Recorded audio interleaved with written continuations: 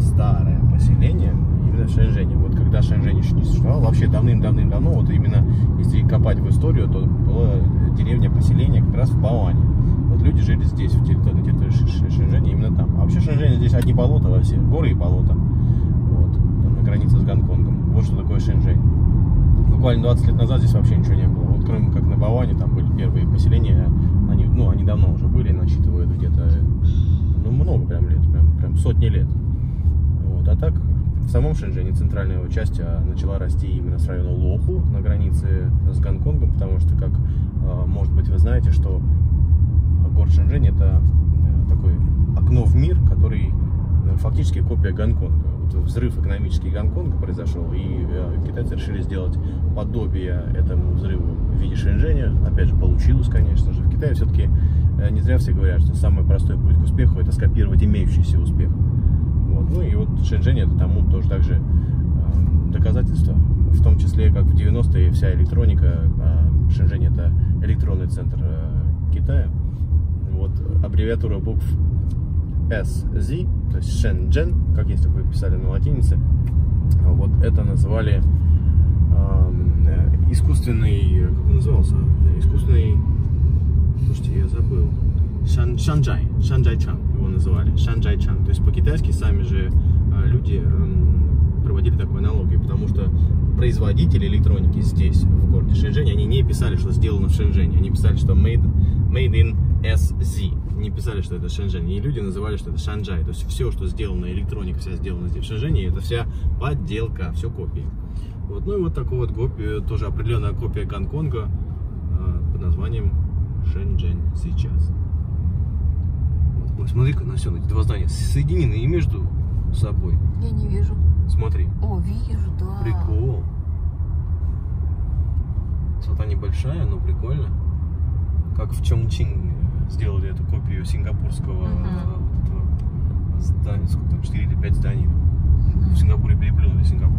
В, в Чончин а, переплюнули Сингапур. Вот такой круть сделали.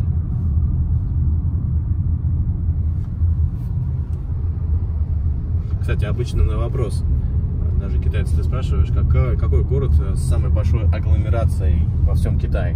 То есть популяция людей с городом и вокруг его. А, В Китае самый большой город. И люди говорят, «М, Пекин, м, Шанхай, м, там еще какой-то город, там любой, м, Шэньчжэнь, может быть, Гуанчжоу. Нет, на самом деле самая большая агломерация в Китае это город Чонгчин. Это город э, где-то в 250 километров или 300 километров от э, города Чэнду, провинции Сычуань. Когда-то Сычуань включал себя в состав Чонгчин, сейчас Чонгчин считается отдельно, э, отдельным, как это получается, регионом независимым, провинцией независимой. Э, Ну, на самом деле, это город, окруженный горами, очень плотно, из-за чего в городе очень жарко. Вот. Но вот город Чонгчин это самый большой. А почему агломерация. перенаселение? Почему такое перенаселение? Платят хорошо. Да. Ну, какой еще ответ? Ну, Почему кажется, семья наоборот- большая? Потому что Наоборот, бы здесь платились, потому что здесь же тепло. Да, ну там тоже тепло, Настя. Там зимы, снега там нет. Зимой там э, в районе 10 градусов средняя температура. Вот. Ветров там тоже больше нет, потому что город окружен горами. Вот. Значит, просто тот, тот город старее. Да, город, конечно, очень старый там. Вот, и он очень такой, ну, он, он город-монстр, город супер-мегаполис. А многие даже не знают такой город. Да, я вообще не Да. знала. Ну, кстати, на русском языке он называется Чунцин. Мне очень не нравятся вот эти адаптации русской- э, на русский язык. Город называется Чонгчин. Даже и Чонгчин он называется Чонгчин на китайском, и также Чонгчин, да. И по-русски, ну, примерно могли бы, у нас же буква Ч есть, могли бы Ага. назвать Чонгчин. То же самое было бы нормально, близкое произношение. Так же, как город Нанjing, э, южная столица. Он бы здесь, э, Бейджин есть, а есть Нанjing. Вот Мгм. Бейджин, Пекин, да, есть Нанjing, Нанкин, Пекин. Могли бы называть по-нормальному. Шэньчжэнь очень похоже по-русски также. Шэньчжэнь, Шэньчжэнь. Но вот эти мягкие знаки, это абсолютно не нужно, то, что обычно Ага. добавляют на русском языке. Это совершенно неправильно. Китайцы так не говорят. Да, потому что правильный звук это как раз согласный звук, э, именно подчеркивающийся твердым знаком и уходящий в нос. Вот такой звук. Шэньчжэнь. Шэньчжэнь.